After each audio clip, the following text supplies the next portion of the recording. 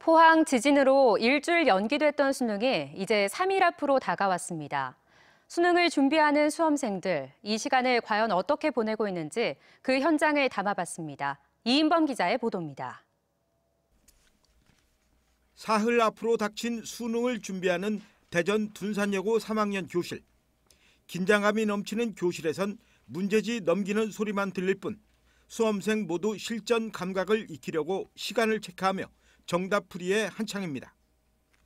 눈꺼풀이 무거운 학생들은 싸늘한 복도에서 졸음과 씨름하고 있습니다. 그 수능 연기돼서 허무한 마음을 이제 다시 다잡고 이제 얼마 안 남았으니까 악으로 열심히 버티고 있습니다. 선생님들 가슴도 미어집니다.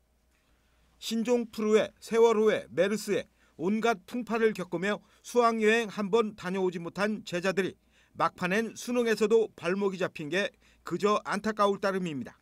학생 하나 한 사람 한 사람 볼 때마다 진짜 학생들이 그 표정 보면 너무나도 진짜 안타깝고 아쉽습니다. 재수생들이 겪는 심적 고통도 이루 말할 수 없을 정도입니다.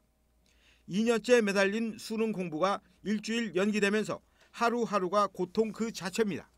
그 시간이 더 안 가서 더 몸이 지치기도 하는데 그 하늘이 주신 기회라 생각하고 교육당국은 사흘 뒤에 치를 수능 대책을 발표하면서 두 번 다시 수능이 연기되는 일은 없을 거라며 시험 중 지진 대피 요령 등을 교육 현장에 전달했습니다. 시험장 학교에서는 모레 수험생 예비 소집에 이어 고사장 재배치 등 수능 준비에 돌입했습니다. TJB 이인범입니다.